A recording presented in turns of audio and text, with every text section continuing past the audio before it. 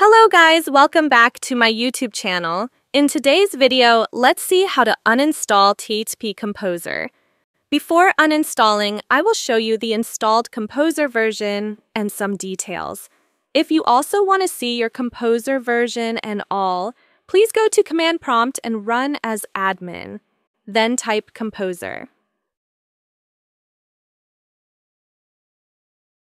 As you all know, Composer is a PHP dependency management tool specially designed for PHP.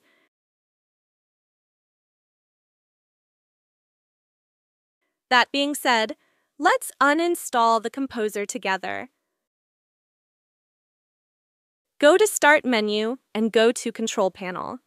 Navigate to Programs and click on Uninstall a program.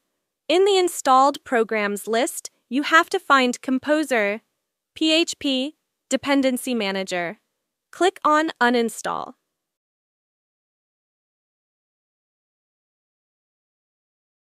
Click on Yes. The uninstallation process takes a while. If you want to remove all the data related to Composer, click on Select All and click OK. Now Composer has been successfully uninstalled.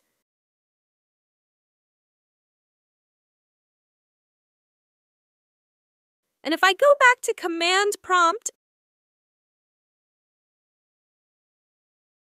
and type Composer E, it should shows as not recognized. That's how you uninstall Composer.